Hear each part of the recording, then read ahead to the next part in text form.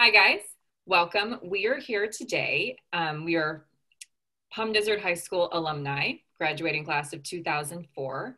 And we really benefited from the grief group that Tom put on for many years while we were there. And we're here today to tell you more about that and to share our experience with you. We're going to start introducing ourselves. Uh, my name is Ria Chorba. I was Ria Pescador back in high school. I am 34 and I'm so glad I had the experiences I did with Grief Group because I think it opened up my mind to seeing that talk therapy is helpful. It is not something to be ashamed of.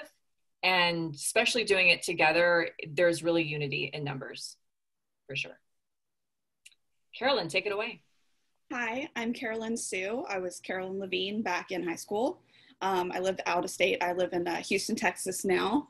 I did grief group for two, three years, somewhere in there. And it was so helpful in getting me through high school. I went through a lot of really traumatic things at that point, and it really helped me to open up to people and actually start talking about those things so that I could learn to process them. Callista? Hi, I'm Callista Vasius. Uh, I was also Callista Vasius in high school, um, and class of 2004. Um, going to grief group uh, i think for, initially for me i went to support some of my friends who are here with us today.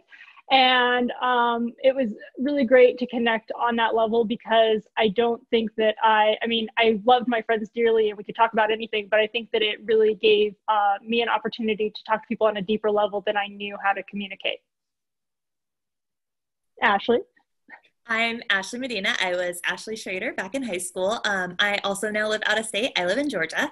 Um, I really appreciated Grief Group and having just an opportunity to have those intentional conversations. Um, sometimes, like, even though we have a great group of friends, um, it's hard to even know when and how to start those conversations when you're processing hard losses or you're going through a rough time. And so it was really helpful just to even have a space and a place to feel safe enough to start those conversations. Um, and it even helped encourage me to continue doing that. And I was able to, um, because of my experience in grief group, I um, felt in a confident enough to go to counseling for a couple years while I was in college and really finish working through a lot of those things.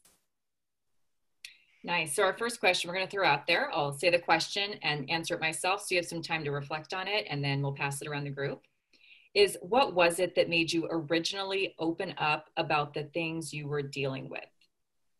So for me, I my reason that I went was I had a family member that had committed a lot of crimes against my family and that was really hard to deal with that someone within um, our home would be so destructive to our family and going there and seeing that even being 14 15 there were peers that I may not have known as friends, but I knew them as acquaintances that had other real problems that may not have been just like mine, but their pain was pain, just like mine. And I think that's what made me, because the first two times I don't even think I mentioned why I was going to grief group because Tom was very sensitive to let you share that on your own.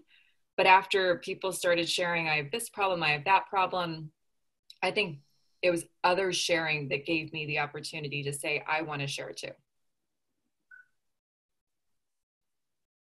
I agree with you ria i'll take it over.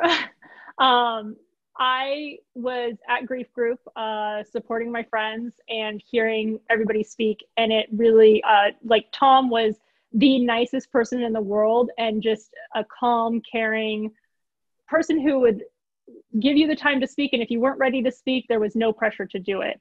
Um, so after attending a couple of grief groups, I felt like I wanted to open up as well and really got the opportunity to um, to share with a group of people, not just my friends who I was there with, but also people I hadn't really talked to um, at school, even though we'd seen each other around school.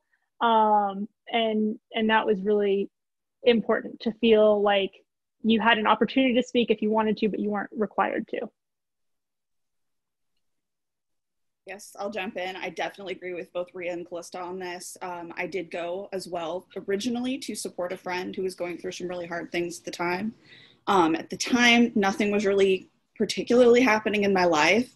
And then um, things started to escalate with some things in my life, traumatic things happened. And I don't remember if I initially shared them, but by that point, I had already discovered that this is absolutely a safe place. Like Callista had said, there's a lot of people in there, not just friends that you know, but people you've seen around high school that you wouldn't necessarily just walk up to and, you know, share everything from your life with. But we've already kind of established that is a safe place to go ahead, talk about anything that you possibly need to talk about and you're going to be heard, you're going to be listened to, you're going to be comforted, and you're going to be given that space to work through things. Yeah, I mean, I agree with what all of you ladies have said. I think um, for me, initially going um, was um, a little nerve wracking because you know you don't really know what you're walking into, and so, but just having that safe place, I think, um, for me was really encouraging and having the opportunity to share what was going on um, was really valuable. Nice. I wanted to add one more thing that I think is we'll all agree on. In grief group, it's a place that existed without cliques. You had your popular people, you had your band nerds, you had the dance team, and you all of us fit into some category. And we really stayed in our bubble.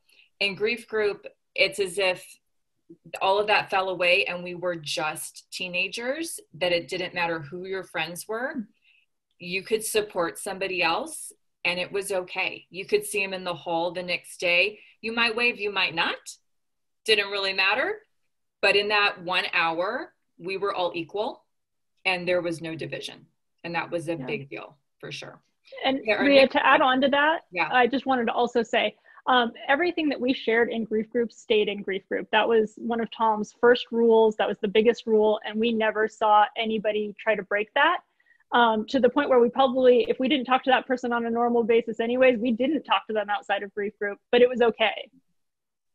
Kind of had like an like an AANA type element to it and that you go you speak to those people and then outside of that you don't i don't say you don't know them but you don't know them if you didn't already because it kind of kept that element of anonymity, I guess. Definitely.